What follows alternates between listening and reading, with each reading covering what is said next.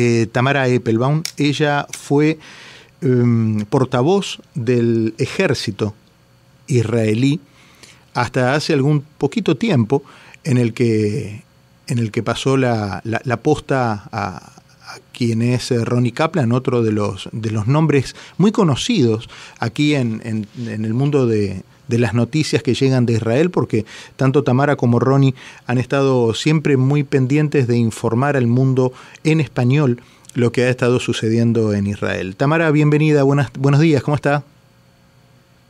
Hola, buenos días. Eh, gracias por tenerme hoy. No, muchas gracias a usted por atendernos. Tamara, eh, bueno, hay mucha preocupación, por supuesto, por lo que pasa, pero eh, gran parte de la preocupación está centrada en la explicación de cómo, de, cómo pasó esto, de cómo de alguna manera eh, eh, jamás encontró a, al, ejército, a las fuerzas, a todo Israel mirando para otro lado en un momento en el que nos contaban que hicieron una, una suerte de operación este, paralela, ¿no? Por un lado, una ráfaga de misiles que son vamos a decir, tristemente habituales, y mientras la gente estaba entretenida en eso, ellos entraron por, otro, por otras vías, entraron por tierra, eh, haciendo el, y generando el horror que generaron y que, el mundo está atestiguando ahora.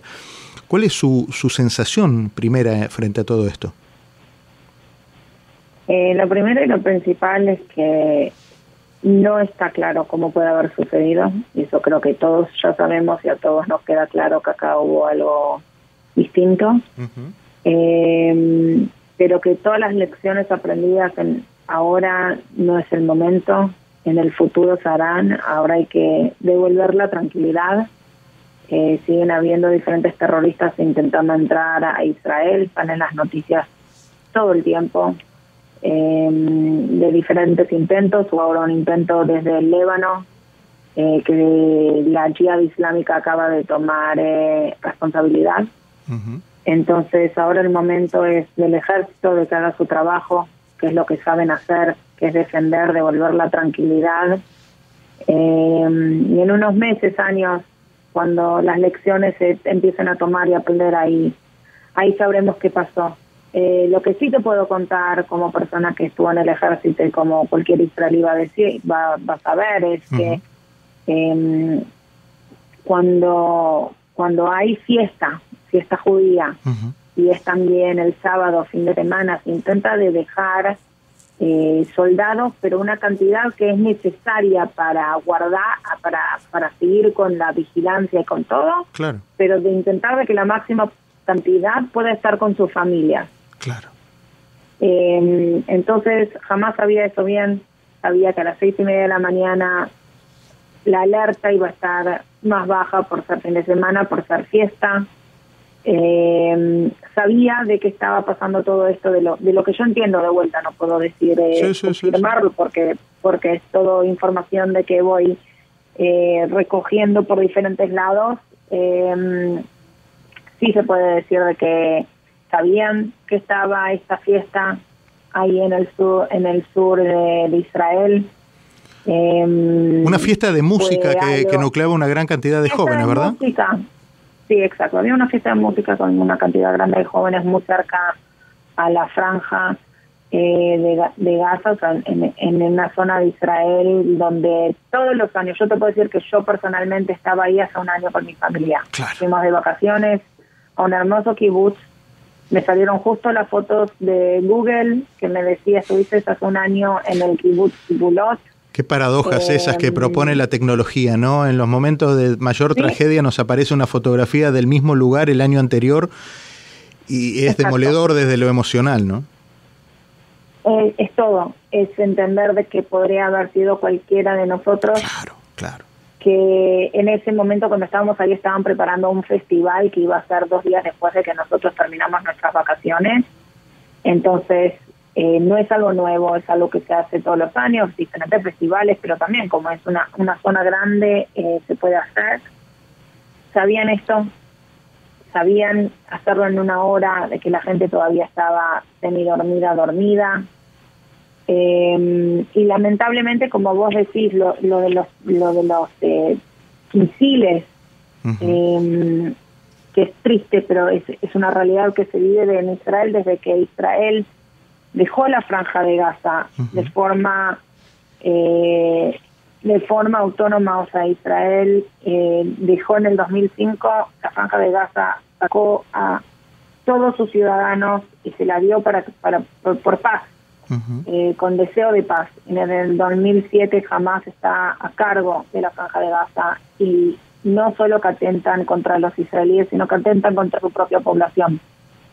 y esto es algo que también es importante decir. Ninguna pérdida de vida es razón para festejar la pérdida de vida del lado palestino de inocentes madres, hijos, ancianos, también es una pérdida de vida. Eh, pero acá jamás tiene rehenes a todo, tiene rehenes a su propia población, tiene ahora rehenes israelíes y tiene a toda una región eh, entrando a guerra por, por su eh, Magna Carta que dice que no van a parar hasta que Israel no desaparezca. y esto es contra quien estamos peleando y esto es contra quien Israel tiene que ahora defenderse. los que se ve en las fotos no son humanos. Esto no es eh, pelea por derechos humanos, esto es destrucción de derechos humanos. Y las fotos se parecen mucho más a los crímenes de ISIS, de Daesh, eh, que, que otra cosa. Y el mundo en su momento vio esos crímenes de Daesh y no se cayó.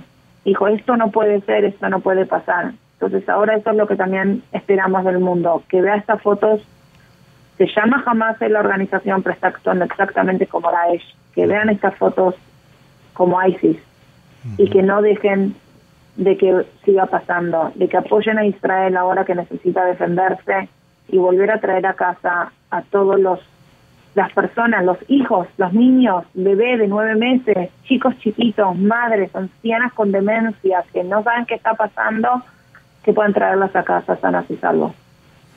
La gran cantidad de estas personas que están secuestradas sin duda eh, son, en muchos casos serán escudos humanos, en otros moneda de cambio para que Israel libere a algunos palestinos. Eso es, eso es así, es, es, la ley de la guerra, así funciona. Quisiéramos que fuera diferente, pero, pero en muchos casos muchas de esas personas, eh, bueno, tienen el destino marcado, ¿no? Y en ese sentido eh, es muy difícil poder asimilar eh, y, lograr un análisis este, objetivo de toda la situación.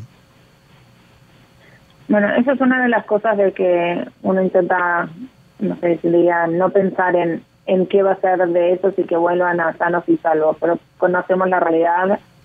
La realidad es que jamás usa sus propios ciudadanos como escudos humanos entonces no quiero ni pensar qué está haciendo con los israelíes. Eh, pero sí te puedo decir de que escudos humanos los usan y que los van a usar como escudos humanos seguramente y que Israel tiene que ahora tomar decisiones difíciles. El gobierno de Israel tiene que tomar decisiones muy difíciles. Tamara, le agradezco mucho la gentileza de atendernos en esta mañana y nuestra solidaridad con, usted y con todo el pueblo israelí.